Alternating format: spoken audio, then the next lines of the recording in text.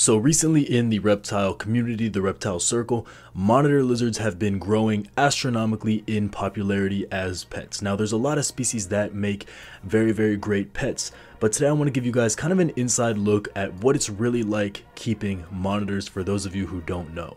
So I keep three species of monitors myself, Varanus panoptes horni, which is the Argus monitor, Varanus pilbarensis, the Pilbara rock monitor, and Varanus macraei, which is the blue tree monitor. So even though they do have their own attributes and different qualities, you know, from species to species, there are some things that are constant throughout all of monitor keeping, and I wanted to give you guys an inside look into that today. So the first thing that a lot of people are drawn to with monitors is their smarts and their interaction. Now monitors are famously known to be some of the smartest reptiles on the planet. They're definitely the smartest lizards on the planet, even more so than tegus in my experience, but some of the smartest reptiles in general.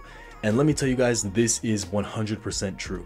Now, they are just so interactive and inquisitive when you have a social animal. Even the shy ones are super, super observant. But if you have a nice social monitor, like you guys are seeing Blue, my Argus monitor right here on the screen, super social. They want to come check you out. They always want to know what's going on. They want to dig around and always be exploring. They're also just extremely inquisitive and curious creatures.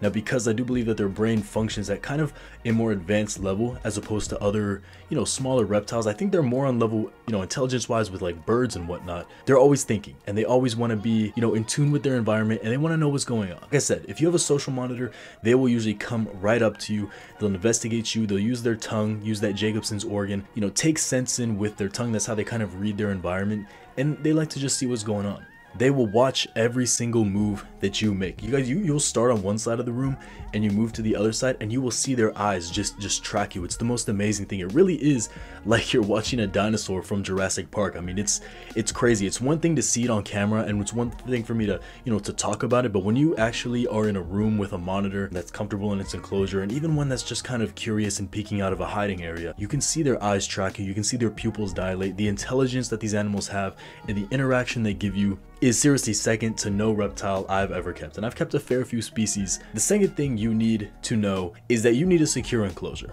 Now I saw something on Facebook the other day and it said monitors or reptiles are not escape artists, your enclosure is just not secure. And that is the most true thing ever. Yes, they may be more prone to escaping an enclosure that's not secure, maybe a little bit more than, you know, a leopard gecko or something. No shame on leopard geckos, I love leopard geckos, but you know, they're not monitors. If your enclosure is not secure, you will you will have an escapee. My Pilbara rock monitors have escaped many times before I really locked down and secured their enclosure. My Argus monitor has escaped from, you know, when I used to keep them in grow tents if you're an OG of the channel. They will find and they will pick at and dig at every little crevice every little slit, every little opening that you have in your enclosure. It doesn't matter if it's just a tiny little little you know crack in a, in a piece of wood they will investigate it they will get their hands in there they'll try and rip it open and see if there's food or if there's something new to explore they're just super curious animals and while this does make them super fun to have it also makes it so that you really need an enclosure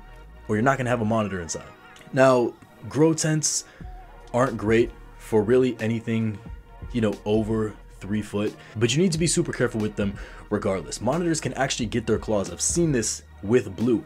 He's taken his claw, put it in the zipper, and was able to literally unzip the zipper. It was literally like Jurassic Park.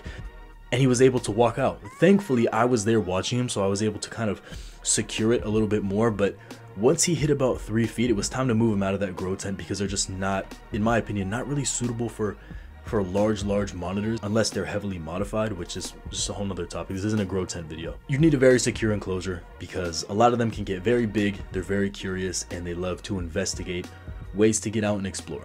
Really quick, if you guys are enjoying this video, go down below, hit that subscribe button, ding that notification bell, please. Small way to support the channel. Leave a comment for you monitor keepers. What would you guys tell non-monitor keepers? What's one piece of advice you guys would give to someone who's looking into monitors, but they're not quite sure what to expect, comment down below what you guys would tell them. We're trying to get to 3,800 subscribers by the end of the month. Boys are saying we can't do it, man. Streets, again, they're saying the Will Exotic fam is weak. We gotta prove them wrong. Hit that subscribe button, man. Join the family. So this third one is kind of something you would expect. And it's that, yes, they do eat a lot of food, but they don't eat as much as you would think. And let me let me let me elaborate on that, okay? 99% of the monitors you are going to see on the internet or in captivity are fat. They're overweight, they have a ton of extra fat on them, and they're just not the condition that monitors should be.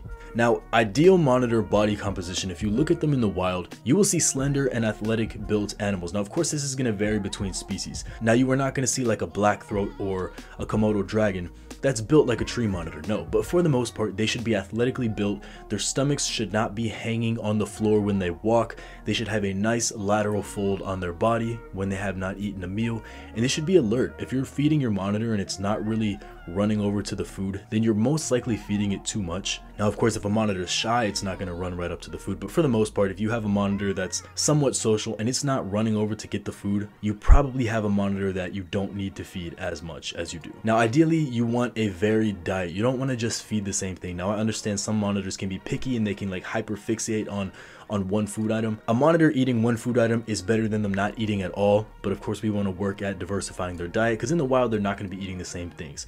So things like insects, chicks, quail chicks, eggs are going to be your main staple food items, but you can also incorporate things like whole fish, shellfish, shrimp. Whole prey is the way to go. You don't want to feed too many like I, I talk about this a lot so i'm not going to go into it.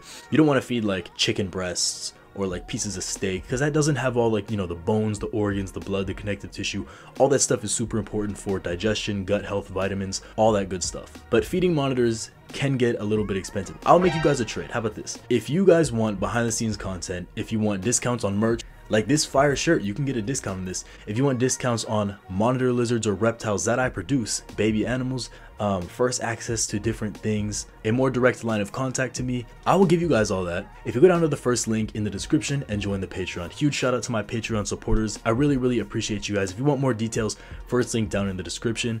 I think there's a pretty even trade-off. Now, the last thing I think that you should really expect or you should think of beforehand, before you even get the lizard, is a monitor right for you? And if so, what species is right for you? Now they come in all different shapes and sizes. You can get monitors that are 10 inches long or you can get monitors that are 10 feet long.